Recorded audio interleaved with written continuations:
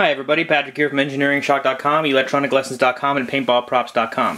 Uh, I just wanted to show off some of the new goodies that I received today. I'm going to be making a few videos to show off uh, some new uh, products that I'll either be selling uh, as singles or I'll be designing into something else. In the case where I'm designing it into something else, I'll tell you what I'm going to design it into. Now these are massive 7-segment displays, but the size of my hand. They're very, very large, and uh, this is a common anode 7 segment display. It takes uh, about 13 volts.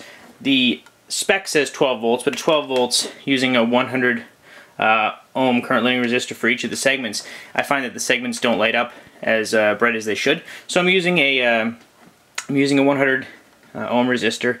I should be using a 1 watt resistor, but since I'm using it for just a second for demonstration purposes, this will be fine. just to show you if I, the pins are underneath, so I'm just going to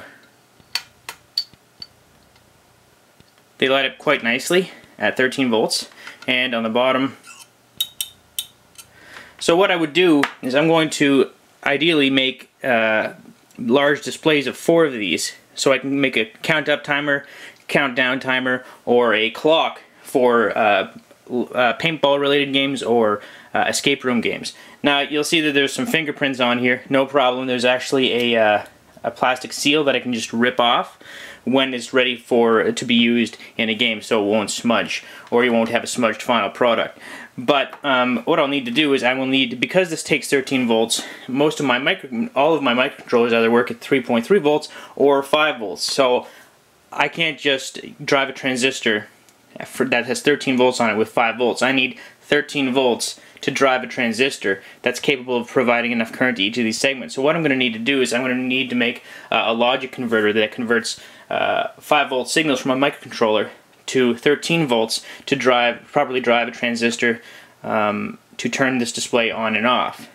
Now it won't be, it's not going to be difficult, uh, but it is going to require a bit more circuitry. But I just wanted to show it off because it's a really neat product. And I mean, imagine four of these side by side, you have a very large display. Um, and I, I, think it's a neat product because it's hands down the biggest seven segment display that I've ever come across. Let me just show you the back. I've got uh, a wire wrap wire to this specific pin. There's 10 pins total. Um, each of the large segments has, I believe, uh, 20 LEDs, or sorry, 10 LEDs, uh, five sets of two in parallel, and the the dot has three single LEDs, so it actually lights up quite bright. Uh, quite bright. Uh, I would need a different resistor for this because it has uh, lesser LEDs than each specific segment.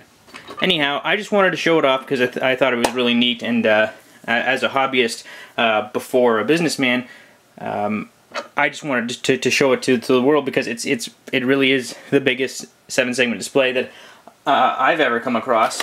Uh, I have some other seven segment displays lying around, but they are probably about the size of the the uh, height of the middle segment. They're very very small.